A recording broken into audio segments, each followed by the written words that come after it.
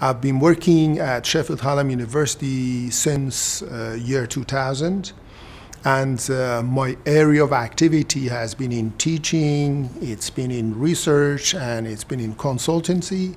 My area of activity is in, is in information systems, it's in software engineering and application of microservices to IoT. I like the variety that I get with my students. Students uh, come from different backgrounds. Some come straight from undergraduate studies, some come from industry. Cohorts are truly multinational, and the, my students tend to learn quite a lot from each other. My students uh, learn a broad range of subject knowledge we know business is interested in a thorough and holistic understanding of application of technology to business domain.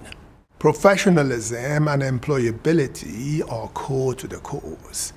As a student on the course, you're exposed to IT and management profession through use of client-oriented projects. We also look at employability with a program of preparing you for progression to industry. You will also have the opportunity to apply for up to one year placement in the industry, and that's an integral part of the course. Academics and placement unit at the university work really hard to connect to the industry to create those opportunities for you.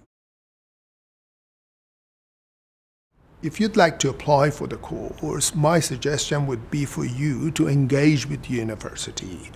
You might want to um, turn up to one of the open days. If you're an international student, you can talk to our direct admissions and get access to the course leader, and that's a good way of finding out about the course.